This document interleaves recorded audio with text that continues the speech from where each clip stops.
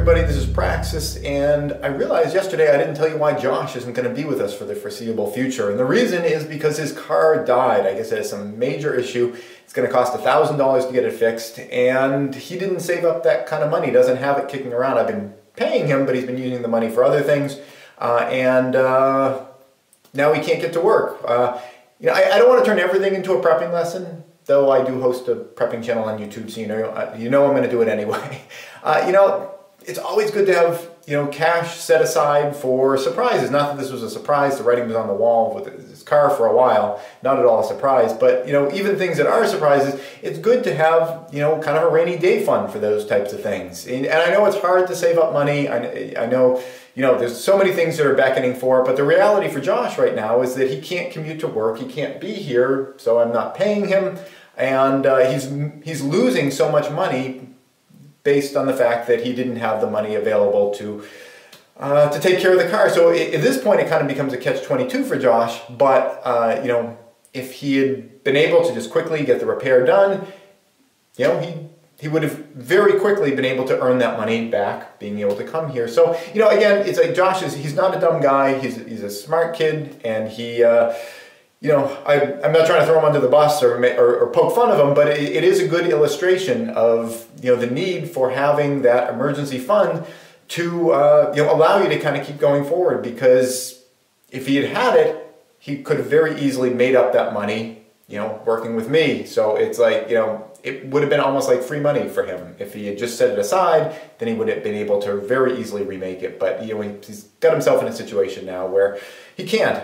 Uh, what I wanted to talk about in this video in terms of the house though, because uh, I'm kind of taking over a lot of the stuff that Josh was doing at this point, uh, is I wanted to talk about putty work, because uh, we haven't really talked much about putty work. Uh, we, uh, Josh is doing a lot of it, now I've been picking up, and it's actually kind of a good time to you know, for me to jump in anyway, I think for Josh, because uh, he'd kind of hit a wall where he kind of wasn't seeing some things that needed to be done, uh, and you know, without me like standing right next to him and say like putty here, putty here, putty here.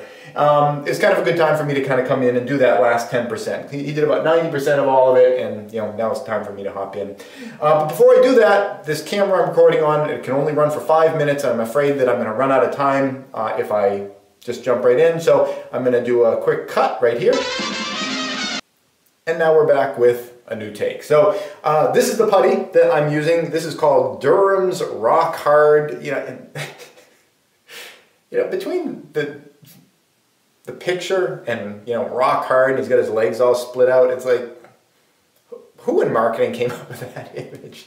I don't know. But the stuff works pretty well. It's a water-based putty, uh, and it's really cheap. I like you can get this whole tub here, and this is enough to do you know, definitely the entire house. Whole thing was seven bucks, and you can make so much out of it. Uh, just a powder, and I got this little tray that I've been using here, and this is actually something a scoop that Josh found, just a little piece of scrap wood.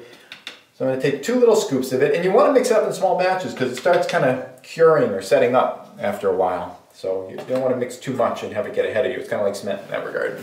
Uh, I'm going to put the, the lid back on here because you want to keep moisture out of the container. And uh, we've got this and our tool, the putty knife. And I found the best way to, uh, actually this is between Josh and I, uh, the best way to get the water in here is actually use the spray bottle because you can add just a little bit at a time because if you add too much water then you got to put more of the, uh, the, the, powder in and everything. So this, this allows you to really control how much you get. I have the spray bottle here for pre, uh, pre-moistening areas that uh, we're going to put the putty into so that it, you can kind of push it in, the water tension kind of pulls it in. So I, I usually like to pre-moisten the wood. That's another sexual innuendo right there. All right. And the consistency you're looking for uh, on this is kind of like toothpaste. I want it to be about like toothpaste. Right, we're getting there. Let's see. Yeah, something like that's kind of good. Like that. Okay. We're going to take just a little. I usually like to kind of pop it on the corner. And we're going to go right into this section here is a, a nail that was nailed in at an angle. We're going to fill that, that guy in. I, I may put a faceboard on these later, but I'm not 100% certain. So I'm going to fill this guy in right there. And one thing you want to do as you're doing this is, uh, okay, once we get it all in there, Want to give it a good scrape at the end. That was something that actually Josh uh, tended not to do. He didn't like really clean it up with the blade, so it left a lot of extra stuff on here, which made a lot of extra work for him to do sanding. This stuff is hard to sand through. So uh, you once you get this stuff in there, you really want to just clean off as much as you possibly can and leave it pretty much clean looking as you do it. And if you do it that way, then uh, yeah, he, he kind of got the rest of this. Some of it, some of this mix though, he, uh, I think he put it on after it already cured, and it, it's flaking and dry. So I'll get a little up here. But uh, yeah, Josh did most of this, but I'm just kind of going in and kind of getting anywhere that he missed. Uh, after this stuff goes on, I'm going to wait. Uh, you know, I'm not sure if it's a couple hours or whatever, but uh, I usually just wait till the next day and then I come back and I give it a nice sanding. But again, if you can get it as close to perfect just with a knife, it makes your life a lot easier later when you're sanding because you don't have to sand off as much. So that's it. I'm going to go through the rest of this because, you know, mixed it up and want to use it right away before it sets up. Uh, other than that, I'm I've pretty much finished up all the stud walls. There's, uh, really all the stud walls are done uh, and I've just been starting to do staining on these uh, floor joists up on the top and sanding them and then getting them stained. Because uh, yeah, Josh is doing the sanding, but he didn't really put his back into it and there's a lot, you can kind of see a lot of white spots up there that could be a lot smaller. So that's it. Thanks for watching.